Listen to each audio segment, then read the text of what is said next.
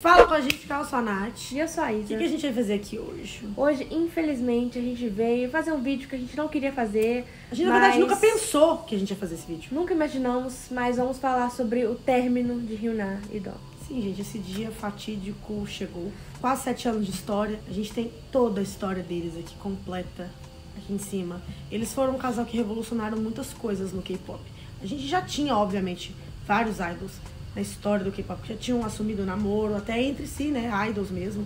É, idols com atores, pessoas que até hoje estão juntas, inclusive, mas a gente nunca tinha tido o que a Hyuna e o Dom representaram pro K-pop, né? Tudo que eles deixaram de legado, como eles realmente se expuseram, tomaram um tiro nas costas pelo amor deles, chegaram a perder tudo, reconquistaram tudo de volta, durante quase sete anos viveram como um casal que a gente nunca tinha visto antes na mídia coreana. Então foi muito interessante, mas infelizmente eles chegaram a terminar. A gente vai contar tudo o que aconteceu nesse ano, né? O que poderia ser algum dos motivos que possa ter levado ao término. Enfim, se você gosta desse tipo de conteúdo, vídeos sobre casais, polêmicas, K-pop, doramas, coisas relacionadas à Ásia, se inscreve nesse canal, dá like nesse vídeo. Esse vídeo chegou até você porque você se importa, então ajude a chegar em mais pessoas engajando o vídeo. Aqui do lado também do joinha tem o Valeu Super Thanks. Se você quiser e puder também dar uma dinheiro pra gente, a gente vai ficar muito agradecido. Enfim, ajude o nosso canal a chegar mais longe. Sim, e ajuda também a gente lá nos nossos Instagrams pessoais, Instagram do canal, a gente tem roxinha também. Nós estamos em todo lugar da internet, gente. É só vocês nos procurarem, não é difícil achar a gente. E como a Nath já disse, a gente já fez um vídeo todo contando a história deles desde o princípio, se vocês quiserem entender tudo com mais detalhes, mas é sempre bom relembrar a história deles, porque com certeza é uma das histórias mais lindas que a gente já viu, principalmente dentro do K-pop, que a gente não tem muita oportunidade de ver histórias de amor acontecendo. Eles se conheceram dentro da Cube Entertainment. A Hyuna foi artista da Cube durante anos e anos e anos. Foi lá que ela conseguiu a sua grande glória como uma das grandes solistas do K-pop. E o Dom foi membro do grupo Pentagon até 2018, fatídico momento em que ele foi expulso da empresa. Obviamente, por ele ser um trainee da empresa, ele entrava em contato com as pessoas que trabalhavam na empresa, era uma titã. Todo mundo que trabalha na Cube tem uma crush na Hyuna, seja profissional ou realmente de vida. Então, obviamente, ele achava ela uma mulher muito empoderada, muito interessante, muito linda, muito talentosa, porque é isso que ela é. Obviamente, ele se recolheu em significância dele de, de mais novo, né? Mas ela olhando ele, que falou: tá aí, esse garoto é meu tipo, gente. Ele é esquisitinho, gatinho, do jeito que eu gosto. E ela falou que ela foi se encantando por ele, eles foram se aproximando, eles tinham coisas em comum, né? Eles gostavam das coisas, ambos eram rappers que estavam dentro da Cube, então ela tinha muito respeito por ele. Inclusive, no reality show que formou o Pentagon, ele puxa um coelhinho da cartola ao ligar pra. E todos os meninos ficam chocados por ela ser meio que, tipo, uma pessoa que tinha o telefone dele e vice-versa. Tipo, como assim você conhece a nossa, né, tipo, maior estrela da empresa? Porque ela sempre teve, tipo assim, um interesse nele. Ela não se aproximou só porque ela achava ele bonito, mas sempre achou ele uma pessoa muito interessante. Então eles desenvolveram um laço muito cedo ali na empresa. E ele nunca imaginou que ele pudesse realmente conquistá-la enquanto mulher, né? Realmente começar a namorar ela. Ele sempre teve muito respeito por ela, mas ela gostava dele. E ela fez o primeiro passo, meio que se declarou. É bem bonitinho. Ela fala um pouco sobre isso no Knowing Brothers. 누가 먼저 저거 했어? 대시했어? 이렇게. 현아가 있을 것 같아. 내가 어. 아, 자존심 상하는데 내가 1년 반을 기다렸어. 연습생이었어. 이렇게 활동을 한 게 음. 연습생이었는데 음. 설마 현아가 나를 그치. 또 아. 할까라는 마음이 어. 되게 컸던 것 같아. E segundo eles, o romance começou em 2016 e eles ficaram dois anos sem falar nada. Para tanto que eles participaram junto com o Rui também do Pentagon da celebridade chamada Triple H. Eles chegaram a fazer um comeback e no meio das promoções desse comeback foi anunciado pela mídia que eles estavam juntos. A Cube chegou a negar ali em primeiro momento, mas a Hyuna e o Dom foram grandões, sem medo, e resolveram anunciar para o mundo que sim, eles estavam juntos. Era verdade a notícia, porque eles queriam ser honestos e sinceros com seus fãs e lutar pelo amor deles, porque eles não estavam fazendo nada de errado, né? Eles terem peitado a Cube, feito seu próprio anúncio afirmando que estavam juntos, abalou muito o mundo do K-pop e, eventualmente, em comunicado da Cube, ela revelou a decisão de rescindir o contrato com a Hyuna. Apenas um mês depois, os laços de Dom também foram cortados e encerrados com a agência. E a partir daí eles fizeram história no K-pop, porque eles poderiam muito bem ter perdido tudo e não voltado à glória com a carreira deles, continuado juntos, mas no anonimato, postando mais coisa ali pra galera. Mas eles conseguiram conciliar tanto os posts pra gente de casal no seu Instagram, com uma carreira de sucesso que eles voltaram a ter depois de assinar com a P-Nation em 2019. O Psy, né, amigo de longa data da Hyunal, fundar sua própria empresa, assinou os dois como os primeiros atos oficiais da P-Nation e foi muito interessante eles terem reescrito a história deles ao lado de uma pessoa que era tão importante pra carreira da Hyunal, porque se você não tava aqui nessa época, gente, tipo, o K-pop tava começando mesmo a, a ficar muito gigantesco no ocidente. E foi um choque pra todo mundo, porque o Gloss falava sobre isso, tipo, G1 noticiou esse namoro, não por causa do namoro, não porque um namoro entre celebridades seja tão especial assim, mas por causa do choque que foi a gente descobrir uma história na Coreia do Sul de uma né, ídolo sênior que tinha mais de 10 anos de carreira, ter sido despedida, ter sido demitida por causa de estar namorando. Ou seja, eram duas pessoas adultas. A Ryuna tinha, sei lá, 26 anos, o Don tinha 24. Eles eram adultos, total e completamente. E eles foram demitidos a troco de nada. Nada. Foi um frisson e eles trilharam realmente um caminho muito especial, porque se vocês também chegaram no K-pop agora, na verdade não, se vocês chegaram no K-pop agora ou há 25 anos atrás, vocês sabem o tanto que a galera é reservada. Eles têm dedos pra falar de tudo, inclusive os próprios atores, que são um pouco menos cobrados, eles não falam nada sobre a vida pessoal. Essa semana aí, gente, Bindin, né, a Sonhadinho e o Hyun Bin deram à luz a seu filho, os protagonistas do drama Pousando na Moda Netflix. A gente ficou sabendo que o bebê nasceu porque eles não escondem esse tipo de coisa, mas provavelmente a gente nunca vai ver uma foto dessa criança. A gente até hoje nunca viu uma foto de Kim Tae Ren e seus filhos. Tipo, é muito diferente a indústria sul-coreana. Aqui a gente literalmente, tipo assim, a criança nem nasce, as filhas da Virgínia já tem Instagram, entendeu? O filho da, da Vitube com Eliezer já tem Instagram. É totalmente diferente.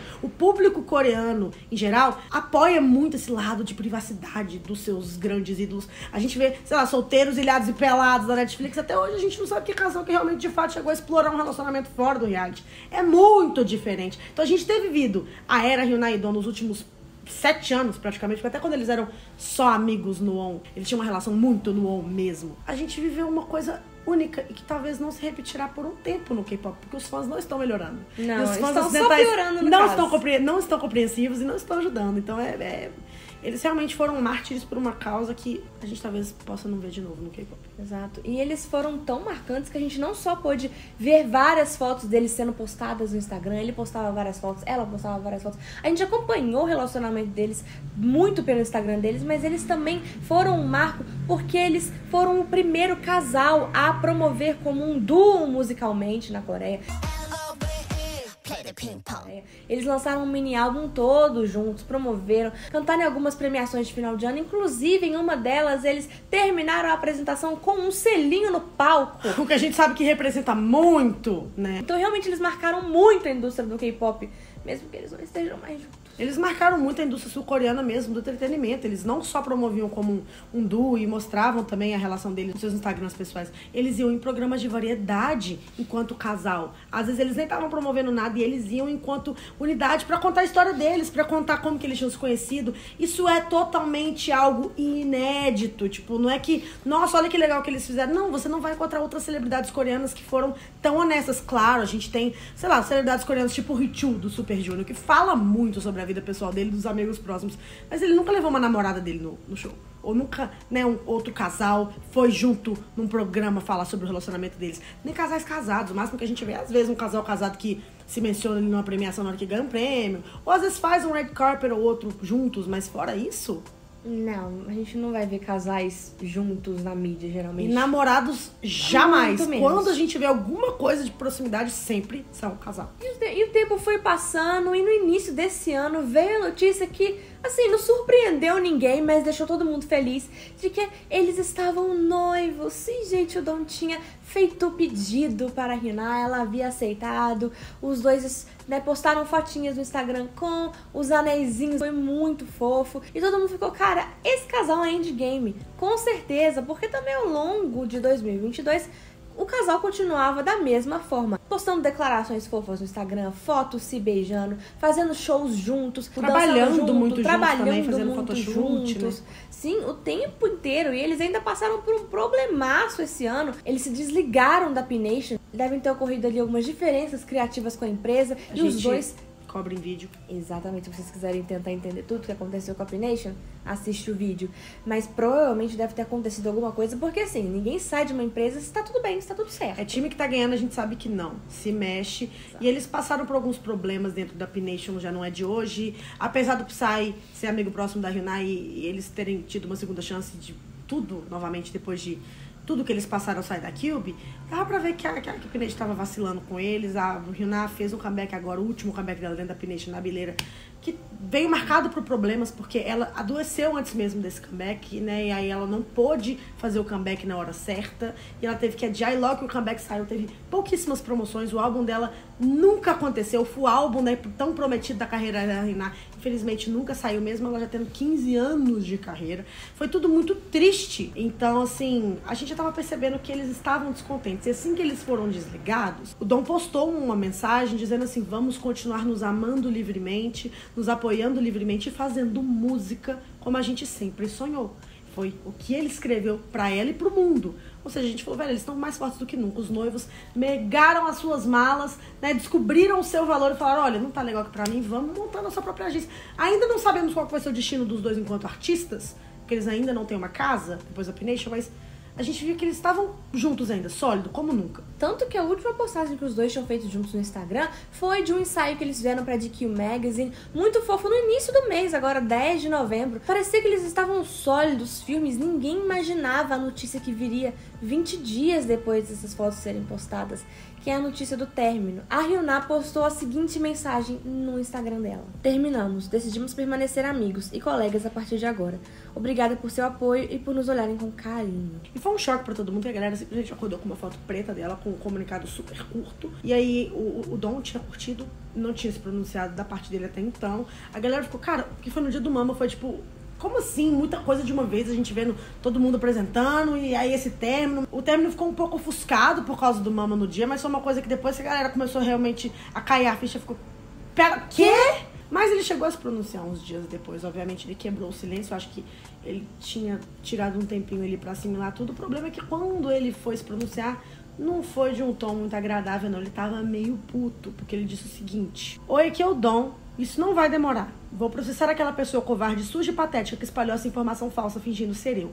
Mesmo que tenhamos terminado, ela ainda é preciosa para mim e mais sincera e legal do que qualquer pessoa que eu já conheci. Ela é uma artista que eu mais amarei no futuro. Por favor, não viva assim, use seu precioso tempo na Terra de uma maneira boa. Essa pessoa em questão, que o Dom falou que vai processar, tinha feito né, um Photoshop e postado essa foto na internet, onde parecia que o Dom tinha respondido o primeiro post da Ryuna, dizendo que ela tinha traído ele, falado algumas coisinhas ali que não eram agradáveis, e que manchando a imagem dela e do relacionamento deles. E obviamente, como era uma montagem, ele ficou puto. E por aqui a gente consegue ver que mesmo que eles tenham terminado, ainda permaneceu o respeito mútuo entre eles, né? Porque ele ficou muito chateado quando ele viu uma pessoa tentando usar a imagem dele pra ferir a imagem da Ryuna. Todo término é muito tenso e triste, mas assim, parece que eles terminaram, pelo menos se respeitando, não foi Sim. nada com dolo, até porque não faz sentido ter algo realmente muito sinistro, porque, como a gente falou, 20 dias atrás, estavam eles lá. Um amorzinho. E obviamente, como todo mundo ama esse casal, todo mundo queria entender o que, que aconteceu pra eles terminarem assim, de. pra gente pelo menos ter parecido de uma forma tão abrupta, né? E eles resgataram algumas entrevistas feitas no passado pela Hyunai e pelo Dom. Eles pegaram um programa de setembro do ano passado, chamado Tur Kids on the Block, em que os dois estavam sendo entrevistados juntos e o Dom falou o seguinte. 안 하죠. 제 사랑. Aí teve também a vez que eles foram no Radio Star, que é um dos maiores programas de variedade na Coreia, que eles chegaram a falar um pouquinho também do casamento. O Dom chegou a falar: Nós dois estamos pensando em nos casar. Não decidimos a data, mas podemos nos casar na próxima semana se a gente quisesse. Ou seja, o Dom tava sempre mostrando que a Hyuna era única, eu quero casar com essa mulher, é ela que eu é. quero, mostrando que ele era muito favorável ao casamento deles. Porém, a Hyuna já tinha uma resposta um pouco diferente. Quando ela foi no mesmo programa, o Radio Star, esse ano, ela chegou a contar que ele pediu ela em casamento, né, falando isso, mas que ela não queria se casar.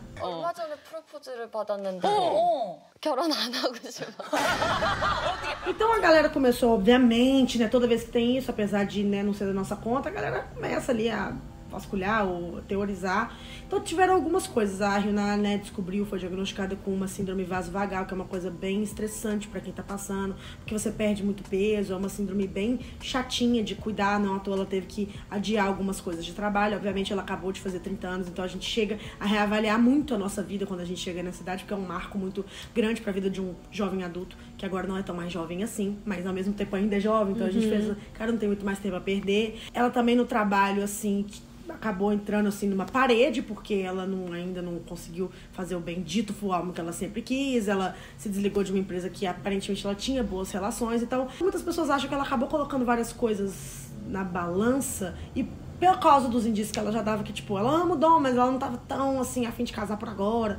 Talvez tenha tudo combinado em algo que ela tenha pensado, refletido e chegado numa decisão que meio que trouxe esse novo capítulo pra vida dela? Exatamente, as pessoas trazem essa, todo esse problema com a Pination, né? Ela ter que lidar, lutar pela sua carreira como se ela fosse rookie, sendo que ela tem mais de 10 anos de carreira, 15 muito mais anos. de 10 anos de carreira, sendo que ela não teria que lidar mais com esse tipo de coisa. Nunca vamos saber o que de fato aconteceu pra eles terminarem, mas a gente sabe como é a internet, todo mundo vai teorizar e tentar entender, chegar pelo menos num, num norte do que aconteceu, porque pegou todo mundo de surpresa. né? É, foi muito triste, mas a gente sabe que eterno enquanto durou e que mesmo eles terem se separado, ou se eles voltarem amanhã, ou se eles nunca mais se falarem, nada vai apagar o legado que eles deixaram nesses últimos sete anos de terem vivido a sua verdade, o seu amor às quatro ventos, assim, né? Tipo, pra todo mundo ver, sem se esconder. E quem sabe um dia empoderando outro casal de pessoas muito grandes que podem vir lá na frente e se espelhar né, e subir nas costas de gigantes que foram eles pra viverem as suas verdades e quem sabe a galera, né, saber assim, pô, se deu certo uma vez, vamos deixar acontecer de novo. Não sei, mas eles foram muito importantes. E o importante é isso, eu sei que você deve estar triste assim como a gente tá, é um vídeo melancólico de se fazer, a gente nunca gosta de falar de casal pra falar de término. É, tá, tá amargo, gosto tá amargo. A gente tá falando as palavras de uma forma bem amarga, porque ainda não desceu o fato que eles não estão mais juntos, né? A gente jurava que eles iam ser endgame. Eles iam gente- casar literalmente. Literalmente iam casar. A gente esperava a notícia do casamento, notícia, sei lá, de uma criança. Não, vamos receber uma notícia do término. Então é, gente, se inscreva no canal, dá like nesse vídeo, vai seguir a gente nas redes sociais, o tour dele sempre. Um beijo. Beijo. Anhão.